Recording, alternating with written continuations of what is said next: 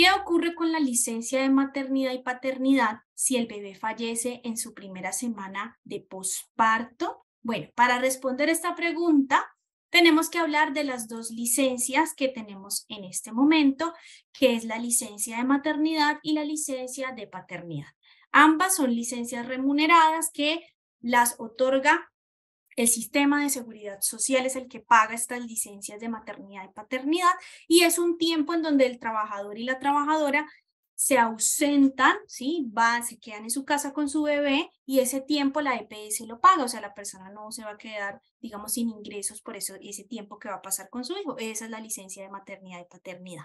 ¿Listo? La licencia de maternidad y paternidad surge por el momento de la, del nacimiento o la adopción. En el momento en el que esa madre o ese padre pues da, en especial la madre da luz a su bebé y su bebé, digamos, según ese certificado médico se establece que él nació vivo, aunque suena redundante, pero así se le dice, se nació vivo, entonces en ese momento la madre va a tener derecho a esa licencia de maternidad, siempre que obviamente haya cumplido los otros requisitos, que es que haya realizado esas cotizaciones, eh, todas las cotizaciones en el periodo de gestación. Y si lo hizo, pues le faltaron algunas semanas, pues entonces se aplicará de forma proporcional. Pero entonces si se cumple esos dos presupuestos de que nació el niño vivo, el bebé vivo y que la mujer cumplió con esos, esas semanas que la, la norma establece, pues esa madre tendrá derecho a su licencia de maternidad. Igual el padre aplica lo mismo.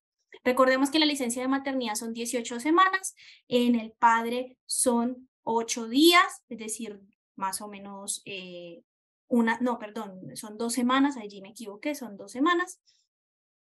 Eh, y se da, como les digo, tanto en el nacimiento como en la adopción. Las normas que regulan esto, allí se las, se las las pueden ver en pantalla, la ley 2114 del 2021, la ley 1822 del 2017 y el decreto 1427 del 2022, que es un decreto muy completo donde ustedes van a encontrar la reglamentación de todo esto. Finalmente, entonces nos preguntan qué pasa si el bebé fallece.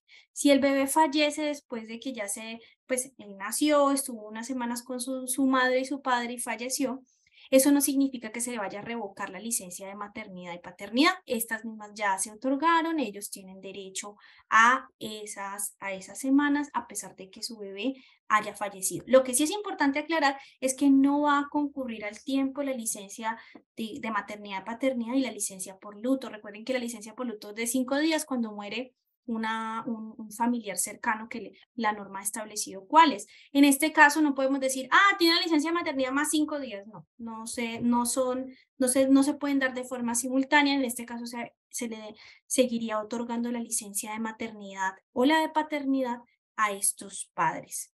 Disfruta de nuestra programación semanal. Suscríbete a nuestro canal, actualícese video